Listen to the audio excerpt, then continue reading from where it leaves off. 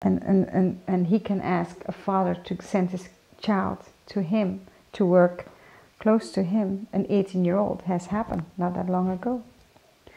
A Russian student sent his 18 year old to the Galleria. It's where Robert lives and he has his meetings. And that's why I'm doing this to be sure that this is going to be stopped.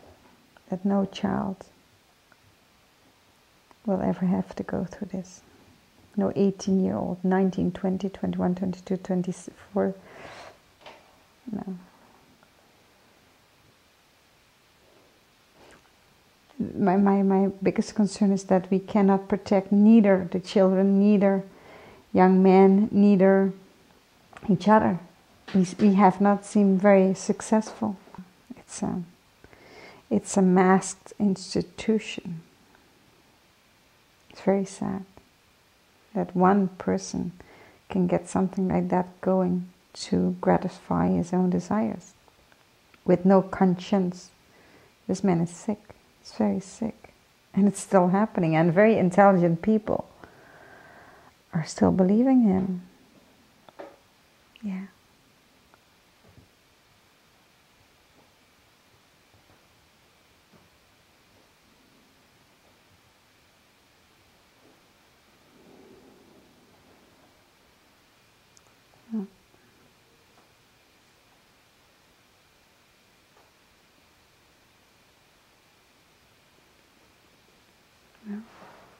Uh, my name's Ames Gilbert. I joined the Fellowship of Friends in um, the end of 1978 and I left in uh, November um, the 6th, 1994. So I was in for a long time. I was one of the earliest recruits. And because the fellowship was so small, I could see the results of, let's, you know, some criminal activity like Burton's. I could see what happened. I could see that reverberating around, and because the pond is so small, I could see the reverberations coming back again. I wasn't asked to work any particular hours. I was given jobs to do, and uh, it was a very frenetic um, uh, work pace. So I copied the people around me. So for 18 months, the average hours were 18 hours a day, including many operations lasting up to five days with no sleep at all. And that was uh, quite common. There was other people that worked harder and longer than I did. And it was very exciting to be around. The average age was probably 25, you know, people in their prime, working towards a common goal. So it was self-feeding. It was very exciting and self-feeding. We all fed each other. Uh, they weren't upfront about having a teacher. I asked questions um, in hindsight, I know that I was told some lies about things like his celibacy by a person who was actually, at that time, that's uh, Peter B., uh, actually at that time having a relationship with him. The sex with followers, that is not the act of a conscious being and has never led in my research to anything but harm for the people involved. There was the straw that broke the camel's back, and that was the Busby affair. Um, when the elder Busby sent round a letter explaining how he had been seduced by Burton uh, as a member of the uh, at the guardhouse. Um, and but the thing, the real thing was when he said, when I started to make inquiries, I found out that my own son had been seduced by Burton underage. The results of all his actions have brought him what he wants. He's got uh, luxury and power and adoration and sex, um, everything that he wants. So for him, his life has turned out exactly right.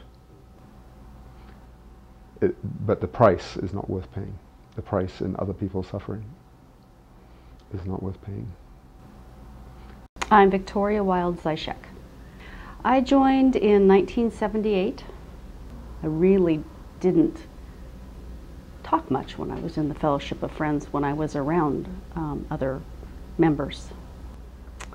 Well, I was always really nervous, and I don't think I ever said anything. It just, you know, just terrified really. I really didn't like the way um, members interacted with one another. I thought it was very cold and um, very unhomelike. They had this exercise where you couldn't use the word I, you had to refer to yourself as it. Robert Burton was asking uh, women to give up their children, and I was very uncomfortable with both of those things. My husband knew for years that Robert Burton was homosexual and using, you know, young men who were members, and I didn't know. He didn't tell me. He didn't share that with me. I found out when a, a good friend of ours was abused. My husband was, was best friends with his father, and you know we watched Troy grow up, and I knew him when this was happening, when when uh, Burton first started inviting him to come over, and I remember he got he got ulcers. It seemed it seemed like something odd was going on with him. He didn't talk about it. I you know I didn't really know, but when I looked back on it, I knew there was something wrong. Everything's controlled. The way you think is controlled. Um, can't really talk about anything.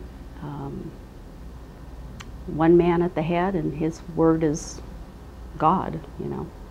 At a meeting, some members had stood up and asked rather provocative questions, and they were thrown out uh, of the fellowship the next day. It's an evil organization. It's just, um, it has nothing to do with spiritual growth. Um, it's a cult. Um, everybody who's there is abused in some way on some level. If I had known what was going on, I could not have been a part of that organization. I didn't ask questions, and I regret that deeply.